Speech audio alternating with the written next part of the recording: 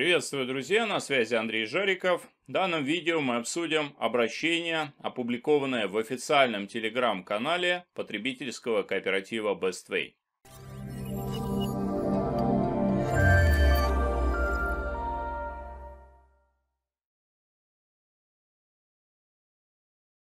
Итак, 17 июня в официальном телеграм-канале ПК Bestway было опубликовано следующее обращение – Уважаемые пайщики потребительского кооператива Bestway, мы продолжаем работу по защите интересов нашей организации в судах, переписке со следственными и правоохранительными органами.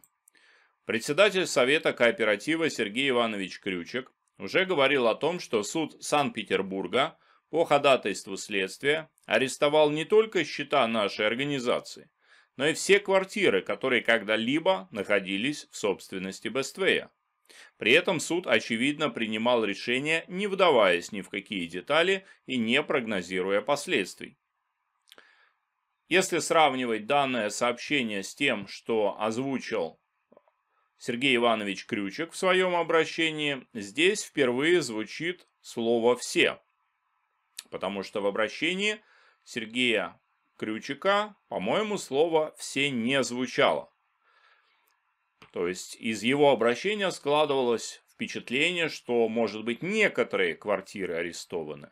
Но, как мы видим, именно в официальном обращении в телеграм-канале Bestway русским языком и открытым текстом говорится, что все квартиры, которые когда-либо находились в собственности Bestway.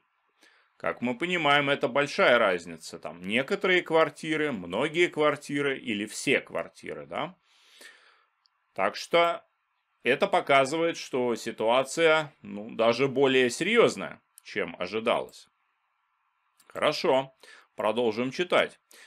По всем фактам арестов имущества кооператива и признания его вещественными доказательствами нами подано больше 10 жалоб в суды Санкт-Петербурга. При этом у руководства кооператива существуют объективные сложности в получении полноценных ответов о сути проводимых полицией действий. Ходатайства и жалобы Крючика не рассматриваются должным образом, нарушаются установленные законом сроки их рассмотрения.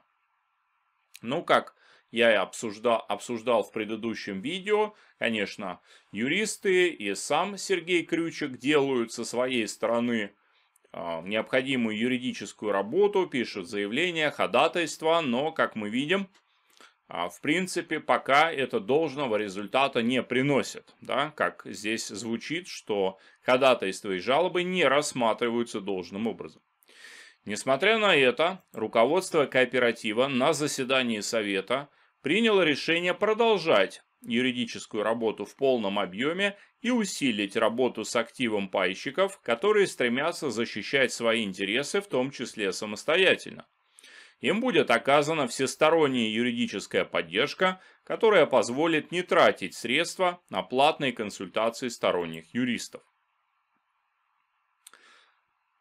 Идем дальше. Ранее в исполнении решений руководства кооператива юристами кооператива уже были подготовлены шаблоны ходатайств в МВД с инструкциями по их заполнению.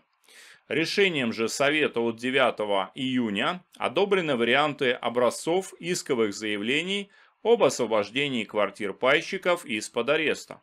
Мы их опубликуем в следующих постах. Вопросы по работе с этими документами по-прежнему можно направлять на электронную почту кооператива Электронная почта указана здесь. Мы никого не принуждаем участвовать в этой юридической работе, но можем поддержать каждого пайщика, столкнувшегося с незаконными и необоснованными действиями и решениями, а также банальными отписками. И к данному обращению прилагаются файлы. Это первый типовой иск под названием «Иск собственника квартиры об освобождении от ареста образец инструкций», подготовлен для пайщиков, квартиры которых уже оформлены в их собственность. И второй – иск о признании права собственности и освобождения от ареста, образец, для тех, чьи квартиры на момент принятия постановления об аресте находились в собственности кооператива, однако были полностью оплачены пайщиком. Отдельно отметим, что сам факт ареста такого огромного количества объектов недвижимости является нонсенсом в российской юридической практике. Эти аресты никак не соотносятся с официально декларируемым ущербом. По последним поступавшим от следствия данным, отраженным в том числе в судебных постановлениях, ущерб по уголовному делу не превышает 10 миллионов рублей, при том, что на счетах заблокированы миллиарды, и в миллиардах же измеряется стоимость арестованных судом квартир. В прошлом видео я разбирал обращение Сергея Крючика, там звучала фраза 3,7 миллиарда рублей арестованы на счетах кооператива. И в данном тексте мы видим, и в миллиардах же измеряется стоимость арестованных квартир. Логика следствия в данном случае нам не ясна. У следствия нет законных шансов удержать эти аресты в длительной перспективе. Каждый арест будет обжалован и кооперативом, и пайщиками в судах, и каждое спорное судебное решение будет обжаловаться вышестоящей инстанции. Ну, то есть получается, что руководство кооператива уверено, что с помощью юридических методов удастся отстоять и защитить права пайщиков и добиться снятия арестов. Кооператив, как и прежде, будет предлагать заинтересованным пайщикам подавать ходатайство о снятии арестов по разрабатываемым юристами образцам и направлять их в адрес следственных органов а также разрабатывать и доводить до пайщиков образцы исковых заявлений об освобождении квартир от арестов. А сейчас давайте просуммируем ту информацию, которая была озвучена Сергеем Крючиком в своем обращении, и то, что мы узнали из данного сообщения, опубликованного в телеграм-канале Bestway. Итак, мы узнали, что суд Санкт-Петербурга по ходатайству следствия арестовал не только счета нашей организации, но все квартиры, которые когда-либо находились в собственности Бествея. Также следствие удерживает всю документацию, все технические средства и денежные средства в виде обеспечительных мер. На счетах кооператива заблокировано 3,7 миллиарда рублей. Аудиторская компания ФБК проводит анализ деятельности кооператива и в ее отчете будет отражен факт о достаточной финансовой устойчивости предприятия исполнить все обязательства перед пайщиками и контрагентами.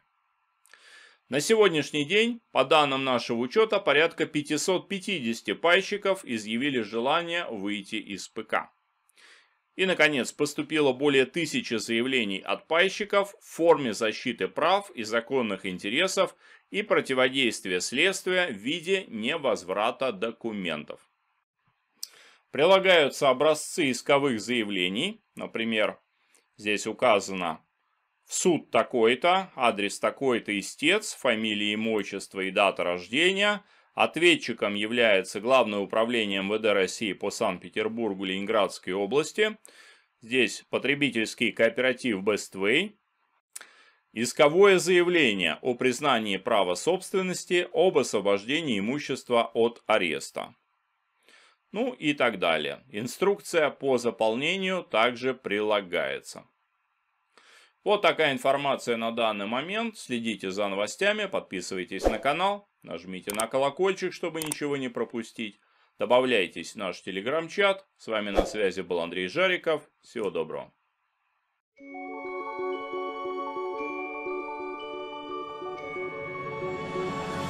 Global Star Club. Возможности безграничны.